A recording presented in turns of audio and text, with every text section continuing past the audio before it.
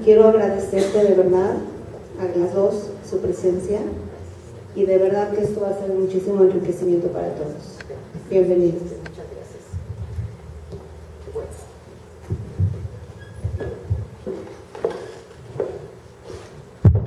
Queridos estudiantes, es un honor para mí poder compartir con ustedes parte de mi vida. Me llamo Georgie, nací en el año de 1942 en Budapest, Hungría. Soy hija de sobreviviente y también sobreviviente. Esta foto que les estoy mostrando es la foto de la boda de mis padres, que fue antes de la guerra. De, eran muchos hermanos, pero de los cuales eh, mataron a 12 personas. La familia Salagonovich, de la familia de mi mamá. Nada más de esas personas mataron a, a 12 personas. Bueno, les quiero contar un poco de historia de la familia y un poco de la historia de Hungría para que, que me entiendan mejor. El oficio de mi padre era la fabricación de abrigos de mink, estolas, toda clase de accesorios de pieles finas. Económicamente le iba bien. Tenía clientes del Parlamento húngaro y de la alta sociedad.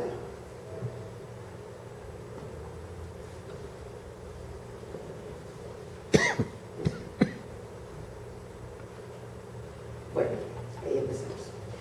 Voy a, este, voy a hablarles un poco de historia para que tengan una idea de la situación política en Hungría. En la década de los años 30, el Reino de Hungría basó su estrategia para salir de la Gran Depresión en el incremento del comercio con la Italia fascista y la Alemania nazi, lo que trajo consecuencia un giro a la derecha de la política húngara. Anteriormente, Hungría se había aliado a la Unión Soviética en contra de Alemania, pero posteriormente, bajo la presión de Alemania, tuvo que cortar relaciones con Rusia, a pesar del trato que el regente de Budapest, Horthy, había hecho con los rusos. Para lograr que sucediera esto, los alemanes secuestraron al hijo de Horthy, mientras las tropas alemanas ocupaban Hungría, ocupaban Budapest, y por lo cual Horthy se vio obligado a renunciar. Él no estaba con los nazis, estaba con los rusos. En ese tiempo había un partido político derechista en Hungría, denominado Flechas Cruzadas, en húngaro se llama Nyilasok, que odiaban a los judíos, eh, a los cuales reclutaban para los trabajos forzados en las fábricas de uniformes para los soldados que estaban en el frente. Ellos colaboraron plenamente con los nazis. Todavía antes de que los alemanes invadieran Hungría, eran húngaros ultraderechistas totalmente antisemitas. A los, a los, judíos ya no se les permitía asistir a las, a las universidades. No tenían permiso para ejercer sus profesiones como doctores, abogados, ingenieros, jueces. En todas las ramas u oficios en los cuales laboraban, les cerraron todas las puertas. No podían convivir en ningún acto social con los húngaros. Los alemanes ya habían invadido la mayoría de los países europeos. El último país que ocuparon fue Hungría, en marzo de 1944. Estaban perfectamente organizados, ya tenían mucha experiencia en los envíos a los campos de concentración y exterminio. En el curso de cinco meses mataron 600.000 judíos de los 800.000 que vivían en Hungría. Hungría se convirtió en un infierno. Los judíos tenían que tener cosida en su ropa la estrella de David. Iban por ellos a las casas, les daban media hora para sacar sus pertenencias. Las calles estaban llenas de niños huérfanos judíos hambrientos, sin tener dónde vivir, porque a sus padres ya se los habían llevado a los campos de concentración. Si una persona se descosía la estrella de David, era severamente castigado. A mi padre, como les mencioné, trabajaba en los, en los trabajos forzados, todavía con las flechas cruzadas, antes de que llegaran los nazis, en la fábrica de uniformes para el ejército. Llegaba a dormir unas horas a la casa y se iba temprano. En ese tiempo se desató una epidemia de escarlatina. Mis dos hermanos fueron internados en dos hospitales diferentes. El director del hospital donde se encontraba mi hermana le dijo a mi madre que si no regresaba por ella, él la adoptaría, que no se preocupe. Mi mamá aceptó el trato porque no se sabía qué iba a pasar. En ese hospital que estaba en Budapest, las bombas caían. Mi hermana estaba en una cuna y al caer una bomba se cayeron las paredes. Pero como había un cuadro en la pared, exactamente el cuadro cayó sobre la cuna y salvó su vida. Mi hermano seguía muy enfermo, no lo dejaban salir del otro hospital. Para ese entonces ya teníamos los papeles para salir de Hungría y documentos para llegar a Suiza. En la foto que les voy a mostrar era de nuestro pasaporte.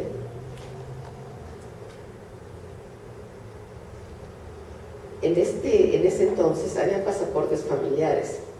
El niño de la foto no es mi hermano, es un primo, porque mi hermano estaba muy enfermo en el hospital. Esta soy yo, mi mamá, mi hermana mayor que vive en Israel y mi papá que está fallecido, que falleció, bueno, que lo mataron. Eh, bueno, Hitler encargó a Eichmann la operación de la solución final. No quería que quede ni un judío en la faz de la tierra. Detenían a todo judío que encontraban. Los subían a unos trenes que eran para ganado.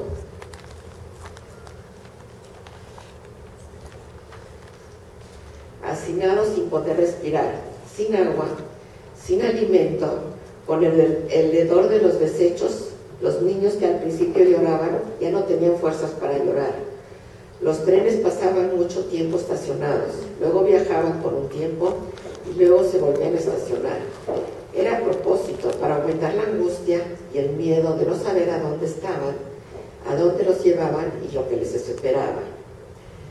Mis abuelos maternos, dos hermanas de mi madre y una prima que todavía vive, iban en uno de esos trenes que se dirigían a Auschwitz. Supe por mi prima que nuestro abuelo ya no bajó del tren, murió asfixiado. La gente que llegó a bajar del tren lo seleccionaban inmediatamente en una fila para los trabajos forzados y había otra fila que era directa a las cámaras de gas. Por supuesto mi abuela, que ya era mayor, se encontraba en esa fila. Llegando a Auschwitz, les quitaban la ropa, les quitaban la ropa, se tenían que poner las pijamas rayadas, las rasuraban de todo el cuerpo, con eso hacían este, lámparas, y les tatuaban un número en el antebrazo, y en eso se convertían, en un número, en un número sin nombre, sin apellido, sin ninguna pertenencia, únicamente les quedaba su dignidad. Ahí muchos tomaron la decisión de dejarse morir o entrar con la frente en alto y rezar la oración del Shema Israel. Son incontables los horrores que sufrieron allá, un frío espantoso, sin agua, sin alimento, las enfermedades contagiosas, sin contar con los famosos experimentos humanos del famoso doctor Mengele.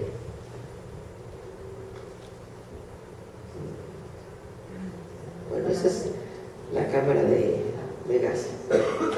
Ay, uno más es la cámara Bueno, pues van a salir los niños. Este, las mujeres se prostituían para tener un bocado más que comer y sobrevivir. Además, los alemanes las escogían.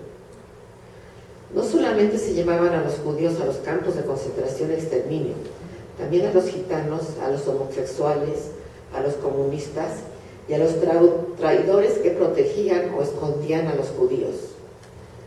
En octubre de 1944, mi madre recibió una orden de los nazis que se tenían que presentar en una estación de tren, a donde había cientos de mujeres reunidas allá.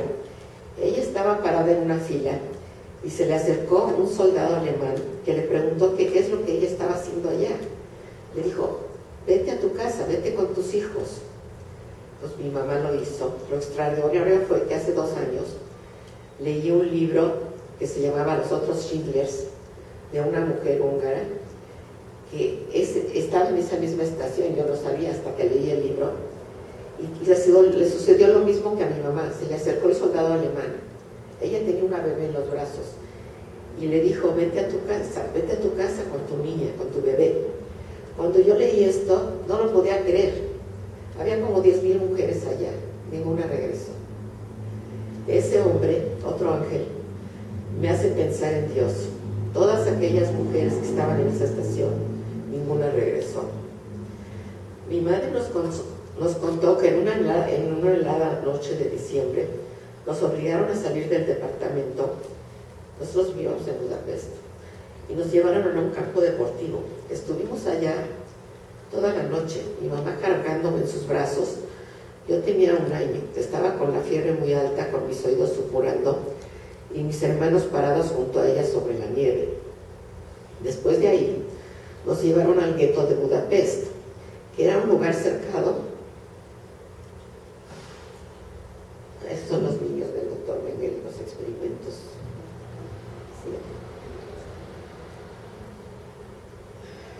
Es el campo de concentración, Auschwitz. Este, bueno, del gueto, creo que va a salir después, puede ser. Después nos llevaron, ay, bueno, ahí es un recuerdo, yo creo que sigue la otra foto. Aquí, ah, aquí, Era un lugar cercado y este, ahí tuvimos que ir a vivir miles de judíos de Budapest. Dentro de lo que cabe, nosotros tuvimos la suerte que era el distrito donde vivía nuestra abuela, ah, nuestra abuela paterna. Era un departamento pequeñísimo donde convivimos con varias familias. Había escasez de todo, comida, agua, medicamentos, de todo.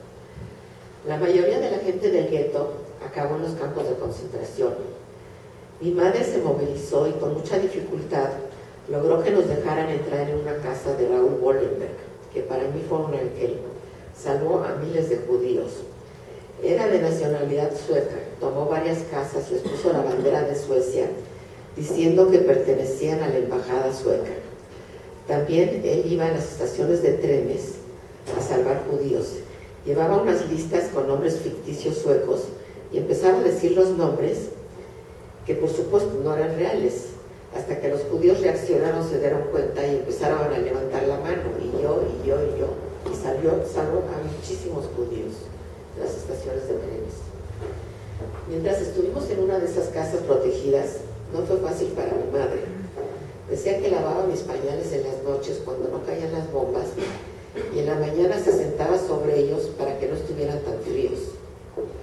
También tuvo que cambiar un abrigo de mink por unas aspirinas y un kilo de azúcar, que casi ya no, no existía el azúcar, había pura sacarina. Un doctor le dijo a mi mamá que si no comía yo carne, me iba a morir. Entonces compró carne de caballo, los caballos morían por las bombas. La gente salía después del bombardeo a cortar la carne y con el frío que no se echaba a perder, cortaban esa carne y la, vendían en, el mercado negro. Eh, precisamente de ayer que hablé con mi hermano me dice que cuando llegamos a la casa de una de esas casas de Raúl Golember, habían nos habían puesto unas tarimas para dormir, porque estaban muy llenas. Entonces estaban como en un sexto piso. Entonces mi mamá le dijo que de ninguna manera, que no podíamos dormir allá, y fue de veras Mina Shamayim, como dicen, este, mi mamá los convenció nos bajaron a, la planta baja. Con el, con el movimiento de las bombas, el, edificio se, se, movió y todas esas este, tarimas que habían puesto se cayeron y se murió toda la gente que estaba allá. Y nosotros estábamos en la planta baja, nos salvamos. Algunas veces hacían redadas y los nazis lograban infiltrarse en esas casas y sacar a, unos a cuantos judíos podían. Un tío mío fue atrapado entre los demás. Los sacaron y los llevaron al lado, a la orilla del Danubio. Amarraban como a 10 personas juntas con un alambre y con una sola bala les disparaban y todos caían en el Danubio y morían ahogados. E-, ese es el, el Este es Raúl Bolívar. Ahí, ahí en la orilla del Danubio se hizo ese, ese este, monumento en memoria de todos los que murieron ahogados en el Danubio. El Danubio se tiñó de rojo, azul. Eso, bueno, esto lo hacían con el fin de ahorrar balas, con un solo balazo, como estaban amarrados, se ahogaban. Cuando acabó la guerra, parece que los rusos lo hicieron desaparecer. No sabían qué hacer con él, no pudieron acusarlo de espía ni de nada. Su nombre está en el Museo de Yad Vashem, que es el Museo del Holocausto en Jerusalén. Es, la sección, es de la sección justo entre las fracciones.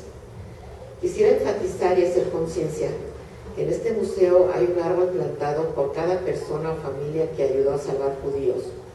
Gente buena que arriesgaron sus vidas y a sus familias, como el señor Bosques, mexicano que salvó a muchísima gente siendo embajador en Francia, los otros Schindlers, eh, Irene Sandler, los otros Wallenbergs, los Chune Shihara, japonés embajador en Lituania.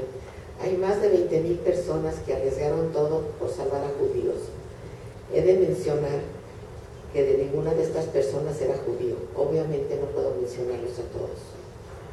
A mi padre, como les mencioné antes, lo sacaron de la fábrica de uniformes y se lo llevaron en enero de 45 directamente a un campo de concentración llamado Dachau en Alemania. Cuando llegaron,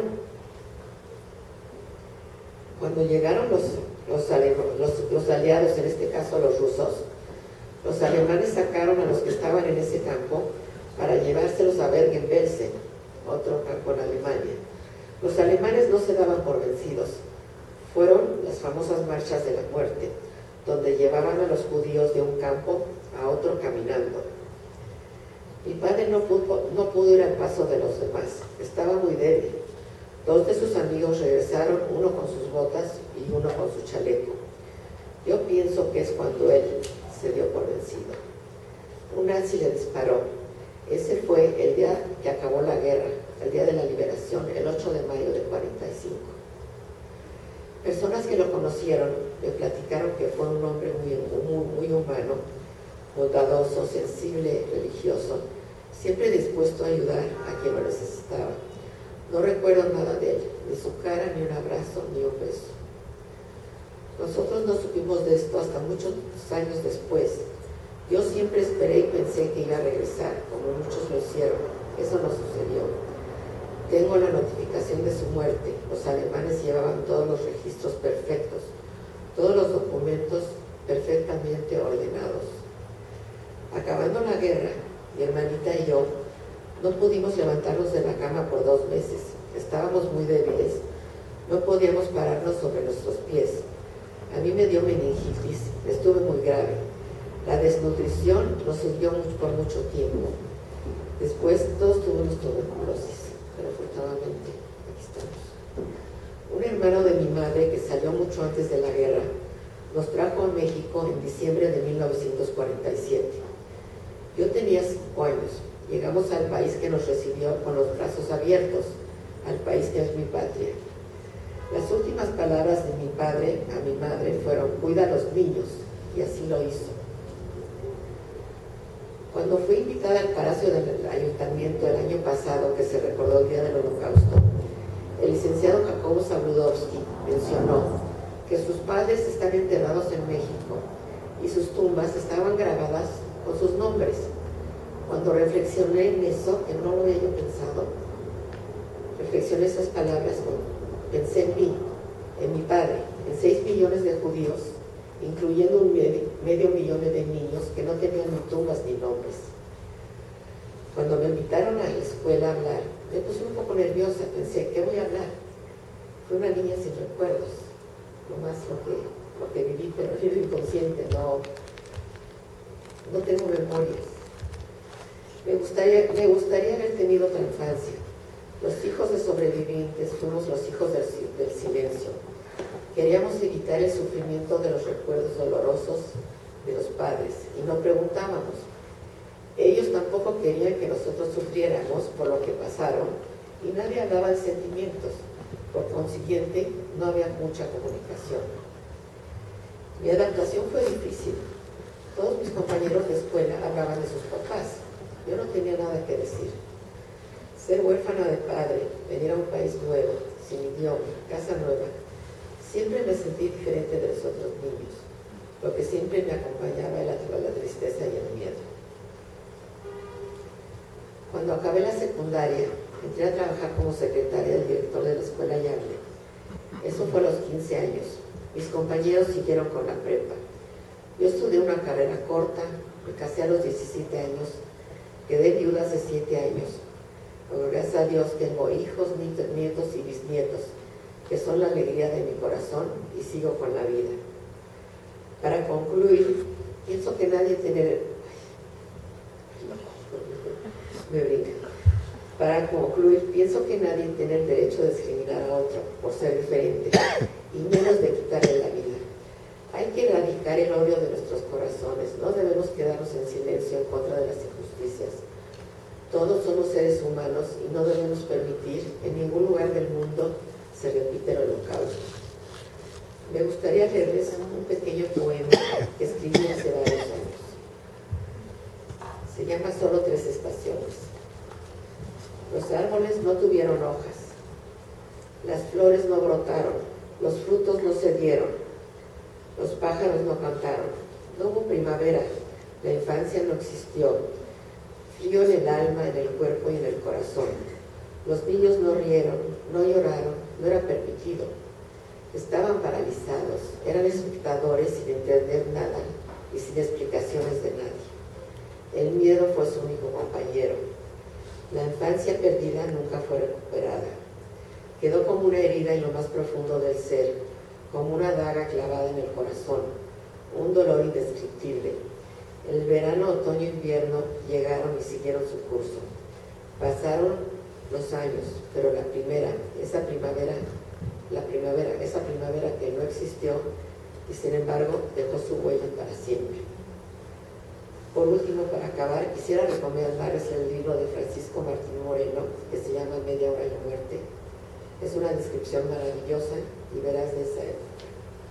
Muchas gracias por su atención.